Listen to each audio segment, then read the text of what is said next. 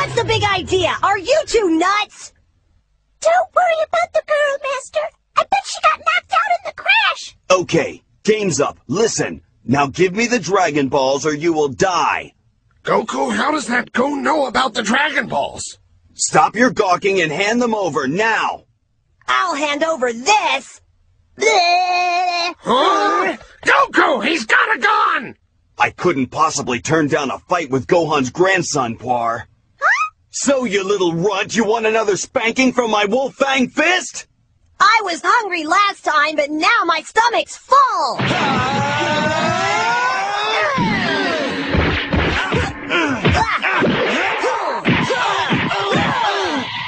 Attaboy! Have you had enough yet? Ah!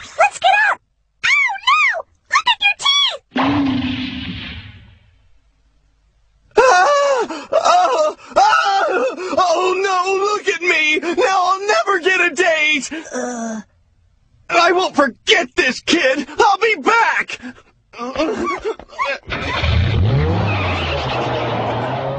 That was strange. Wow, Goku, you were phenomenal.